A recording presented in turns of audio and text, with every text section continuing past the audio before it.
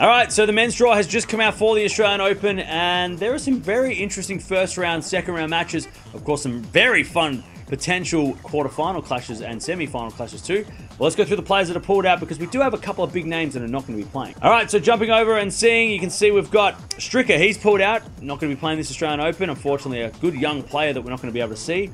Uh, Nadal, biggest name out of the tournament so far, pulled out because of the hip injury. Then we've also got Opelka. He's pulled out as well with injury. And Kyrgios still just can't get that wrist right, out with injury as well. But let's go have a look at the top of the draw and see who plays who. So starting with the top seed, but we got 32 seeds in this one. No one gets a bye in the first round. Everyone's got to play every match. Novak Djokovic plays a qualifier. How good is that if you're a Djokovic fan? You'd love to see it. Winner of that's going to play an Aussie in the second round because there's two Aussies going at it, Popper and, and Poulman. So it could be an, an awkward second round for Djokovic, but, you know, either way, he knows how to beat Aussies in Australia for the most part. Uh, then you got Hampton taking on Monfils. Winner of that will take on either Etcheverry, the 30th seed, or M Murray, who's unseeded. Could be Murray versus Monfils second round. Winner plays Djokovic. So that's a bit of a veteran section.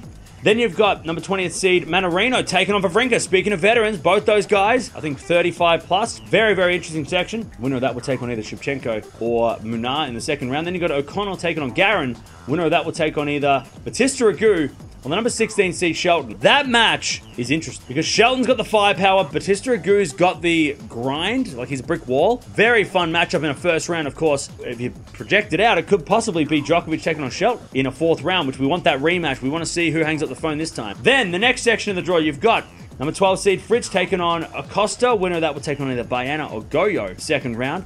Then you've got Marozsan taking on Cilic. That's a fun one. Winner of that will take on either a qualifier or the 22nd seed Cerundolo in the second round. Then you've got the 25 seed Musetti taking on Bonzi. Winner of that will take on either Duckworth or Van Assche in the second round. Then you've got Vukic taking on Thompson. Winner of that will take on possibly the best match of the, of the first round. Berrettini, former semi-finalist, takes on Tsitsipas, the 7 seed, former finalist. That is insane. Berrettini, a year ago, was top 10, or maybe 18 months ago was top 10. Now he's unseeded, plays Tsitsipas first round. Insane first round. And of course, you can see, you know, there are a couple of tough unseeded players too. Thompson, who beat Rafa last week, of course, very tricky. Cilic on the comeback, we'll love to see it. Made a final here back in the day. Of course, the other seeds are pretty dangerous too. But this section will take on the Djokovic section in a quarterfinal, so we might get Djokovic taking on Tsitsipas. Rematch of last year's final. We could be getting Djokovic taking on Fritz if you want to go uh, with something a little bit different, or maybe even if Musetti can get his stuff together, Djokovic Musetti in a quarterfinal and having a good run at a slam for the first time, really in his career. But really interesting section. I don't think it's tough, but it's it's there are some tricky matchups there. All right, let's go to the next section of the draw. We've got number four seed Sinner. He takes on Van de Zandschulp in the first round. That's a little awkward for Sinner. Winner of that will take on either a qualifier or Cashin in the second round. Then you got Galan taking on Kubler. Winner of that will take on either Wolf or the number 26 seed Baez in the second round. Then you've got the number 17 seed Tiafoe taking on Coric in the first round. That's five sets for me. That smells like five sets. Winner of that will take on either Machac or the qualifier in the second round. Then you got Tabilo taking on another qualifier. Winner of that will take on either Altmaier or the number 15 seed Khachanov in the second round course, Khachanov made the semi-finals here last year. Tiafoe made the semi-finals at the US Open a couple years ago. Very fun section. Sinner's got to like that, though. I mean, Tiafoe, Khachanov, Baez are not unbeatable. There are a couple of tricky matches there for Sinner, but Sinner would like his chances getting through. He did lose to Altmaier at the French Open, though, so he probably doesn't want to play him anytime soon, but I, like, I think Sinner's got a nice draw. Next section of the draw, you got de Minaur, the number 10 seed, taking on Raonic. Damn, okay. Uh, winner of that would take on either Naldi or Walton the wild card in the second round. Then you got Kotov taking on Rinderknech. Winner of that will take on either a qualifier or the number 18 seed Jarry. Then you've got Korda, the number 29 seed, taking on a quali. Winner of that will take on either Hellas or another qualifier in this section of the draw. Then you've got Eubanks taking on Daniel. Winner of that will take on either Vilch or the number 5 seed Rublev in the second round. This section seems a little trickier because you got Korda, who did well here last year, Rublev, who also made the quarterfinals last year. de Minaur, who's been on fire. And of course, that section takes on the Sinner section, so it could be Sinner Rublev. Could be Sinner versus de Minaur if we want to go uh, jump on the hype train. Uh, and of course, this section will take on the Djokovic section in a semi-final. So Djokovic Sinner. That's the one that I think we're all maybe hoping for, or at least the, the true fans are hoping for. Uh, it could be Djokovic taking on Rublev, though. We did see that last year in the quarterfinals. Uh, I mean, if you want to go, again, jump on that hype train, it could be Djokovic versus de Minaur in a semi. And you know Australia's going to go mad for that one. that's going to be really interesting. I feel to see who actually gets through. Bottom half of the draw, we've got the number eight seed Rune. He takes on Nishioka in the first round. Winner of that will take on either Djere or Cazaux in the second round. Then you got Feast taking on Vesely. Winner of that will take on either Safiullin or the number 28 Griekspoor. That section's stacked with some really dangerous players, especially for Rune. 21 seed Humbert, he'll take on a qualifier. Winner of that will take on either Zong or Korea second round. Then you got Shapovalov taking on a qualifier. Winner of that will take on another qualifier. Or the 9 seed Hurkacz. Hurkacz Shapo second round. I mean, again, that kind of feels like five sets if Shapo's back. But this section's interesting. I mean, Rune, Nishioka can be awkward. You know, Safiullin, we know what he can do, even though they did play last week and it was, you know, it was Rune's win, but that could be awkward. Of course, her catch Rune, fourth round. I mean, love to see that. That would be really, really fun if we could get that fourth round. Um, next section, we've got the number 13 seed Dimitrov taking on Fucsovics. Winner that will take on either Ofner or Kokkinakis in the second round.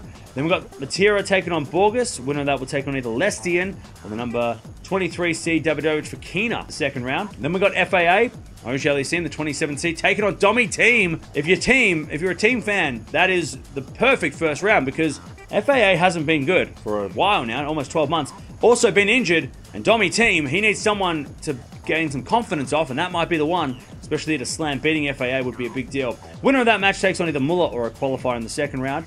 Then we've got uh, Kipson, the wild card, taking on Ruusuvuori. Winner of that will take on either a qualifier number three seed Medvedev in the second round. Medi's section is interesting because you do have Dimitrov, who's been in great form and beaten guys like Rune and Medvedev. Ruusuvuori is in form. Could be a dangerous second round for Medvedev. This section will take on the Rune section in a quarterfinal, so we could get Rune taking on Medvedev. We could be getting uh, Rune taking on Dimitrov, like we did in Brisbane. Or if you want to go with Medvedev getting through, it could be Medvedev Hurkacz in that uh, quarterfinal. If you want to go with the big seeds, course, there could be unseeded players coming through as well. Bottom section of the draw now. Bottom quarter, we've got Zverev, the number 16, taking on Koepfer. Winner of that will take on either Kwon or a qualifier in the second round. Then we've got McCabe, uh, versus Michelsen. Winner that will take on either Moraes or Lehechka, 32nd seed in the second round. Then you got the 19th seed Norrie taking on Varillas. Winner that will take on either Lajovic or a qualifier in the second round. Then you got Purcell taking on a quali. Winner that will take on either Ramos Vinolas or Ruud, the 11th seed in the second round. I've got to be honest, Ruud's draw looks kind of good until the Zverev match. I mean, Lehechka Zverev third round sucks for Zverev. So that could be an interesting section. Zverev should get through, but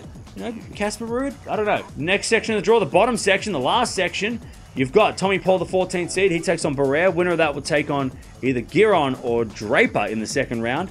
Then you got Kecmanovic taking on Watanuki. Winner of that will take on either Hijikata or Struff, the 24th seed in the second round. Then you got the 31st seed Bublik taking on a qualifier. Winner of that will take on either McDonald or Jerry Shang, uh, who we all love to. We have to watch him, hopefully, at this round open, the wild card from China uh, in the second round.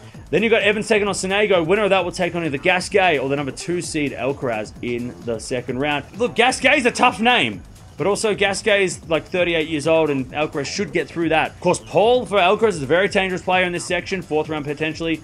Has beaten Alcaraz a few times. I did beat him last year as well. Of course, this section will take on the Zverev section in the quarters, so we could be getting Alcaraz taking on Zverev in the quarterfinals. We could be Alcaraz getting Ruud in the quarterfinals. Uh, or if you want to get away from Alcaraz and say someone else, it could be Zverev taking on Paul. And of course, this section will take on the Medvedev section. So if you want to go with the big names, Alcaraz Medvedev rematch of both the Wimbledon semis and the US Open semi. Uh, or you could be going, going with Alcaraz versus Rune if you want to go with the future of tennis. Or if you want to go again a little bit random, you could go Alcaraz versus uh, Hurkacz. Or if you want to jump on the Medi bandwagon, maybe you get Medvedev versus Zverev, current, uh, the current generation, if you want to call them that.